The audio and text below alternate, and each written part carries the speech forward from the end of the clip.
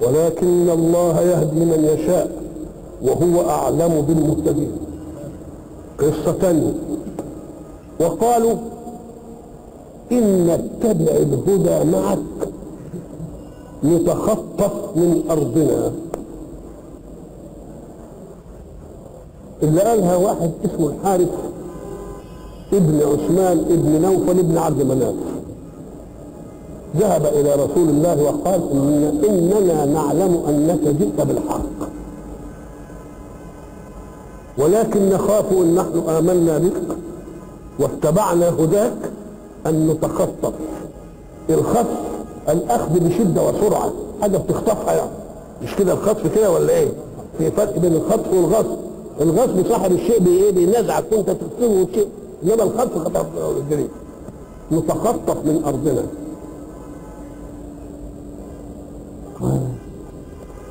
يبقى العلة في أنه يتبع الحق والهدى بإقرارهم كأن كأن الحارس أقر بأن ما جاء به رسول الله إيه؟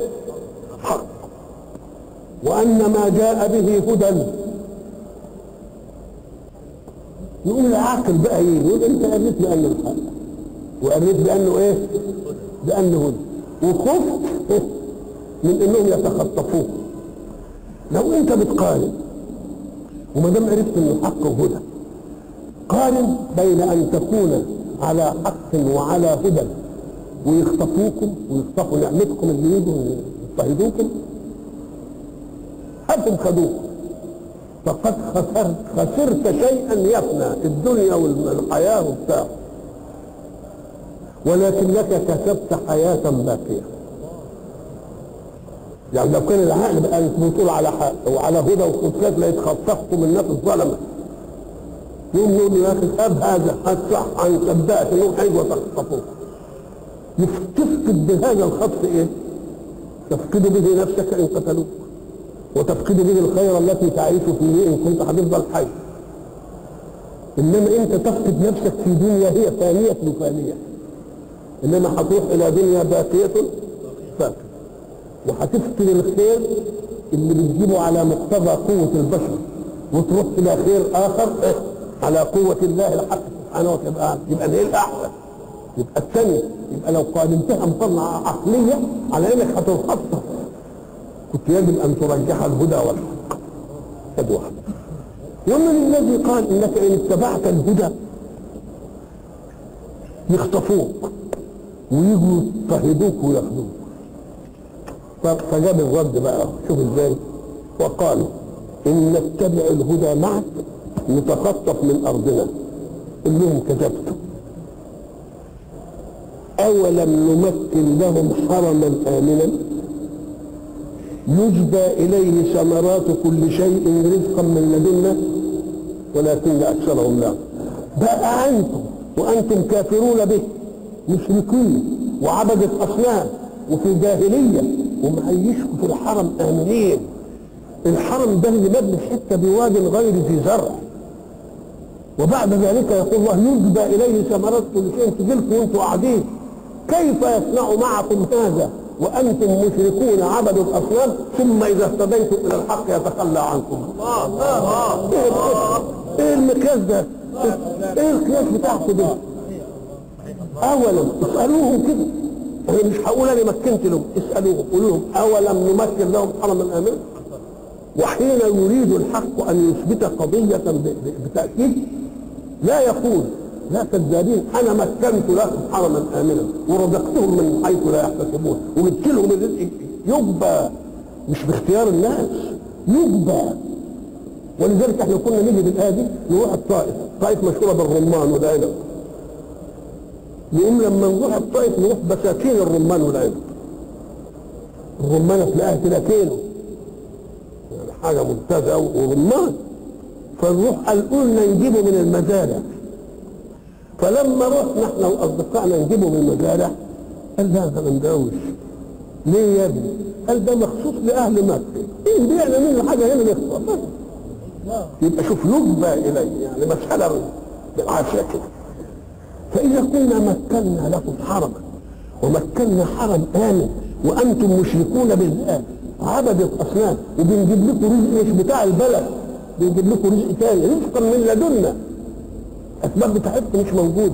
نقوم نسيبكم لما تتبعوا الهدى وتتبعوا الحق يبقى إذا ده قياس صح أنا نمكن أولا. إحنا قلنا لما يجي الحق يؤكد حاجة يقول أنا لا أقولها خبرا. كان من الممكن يقول لا كذابين أنا مكنت لهم حرما إنما كلام منه هو. وخبر الخبر في ذاته يحتمل الصدق. والكذب قال أنا مش هقول أنا إني مكنت أنا هسألهم. الله ممكن يسألهم يقول أمكنت لكم حرما امنا بالإثبات يعني. قال لك يمكن تلقين. أنا هسأل على النفس. أنا ما عملتش كده. يوم ما يديني الجواب إلا لا ده أنت عملت. يبقى اكنه قال القضية بدليل إيه؟ منهم هم. اولم نمكن لهم حرما. حرما يعني حتة حرمنا فيها أشياء. الله حرم في كل البقاع أشياء. عامة. ولكنه خص مكة بأن حرم فيها أشياء هي حلال في غيرها. ولذلك سميت إيه؟ حرم. مثلا حرم كل الكبائر دي في أي بقعة. إنما في مكة حرم كل الكبائر دي ويا العالم وخصها بحاجة حرم أن يقتل فيها. واحد يدخل الحرم ما ولو كان لك عنده طار له ضيق عليه من خارج ما تديلوش طعامه خليه يخرج إنما ما تقتلوش هنا. الله. والى لقاء اخر